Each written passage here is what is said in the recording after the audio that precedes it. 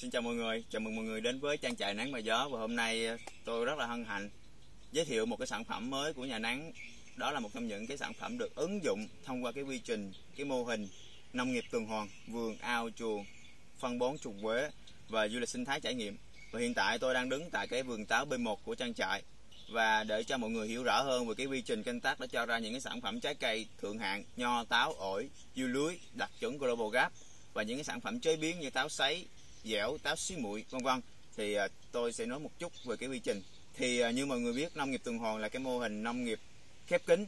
Đó là nằm tăng cái tuổi thọ của sản phẩm và tiết kiệm chi phí đến mức tối đa tiết kiệm năng lượng tiết kiệm nguyên liệu cũng như là tạo ra những cái sản phẩm phế thải. Thì chúng ta tận dụng nó để làm phân bón cục phục vụ ngược trở lại cho cái vườn táo của mình.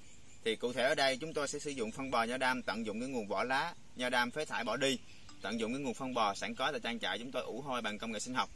Và sau đó chúng tôi sẽ cung cấp ngược trở lại cho những cái vườn táo này, một cái chu trình khép kín, vườn, ao, chuồng, phân bón, chuồng quế và du lịch sinh thái trải nghiệm sẽ giúp cho bà con, quý khách hàng cũng như là đối tác hiểu rõ hơn về những sản phẩm thượng hạng tại đây. Bởi vì chúng tôi kiểm soát được chất lượng đầu vào, từ đó sẽ kiểm soát được chất lượng đầu ra. Và những cái sản phẩm chế biến như tôi đang cầm trên tay là táo xí muội thượng hạng. Nó gồm có những công năng gì? Hương vị như thế nào ờ, thành phần cũng như là hướng dẫn sử dụng như thế nào thì những cái video sau sẽ có một bạn chia sẻ và hướng dẫn mọi người chi tiết. Một lần nữa xin trân trọng cảm ơn và hẹn gặp lại mọi người tại trang trại nắng và gió trong những cái chương trình tiếp theo.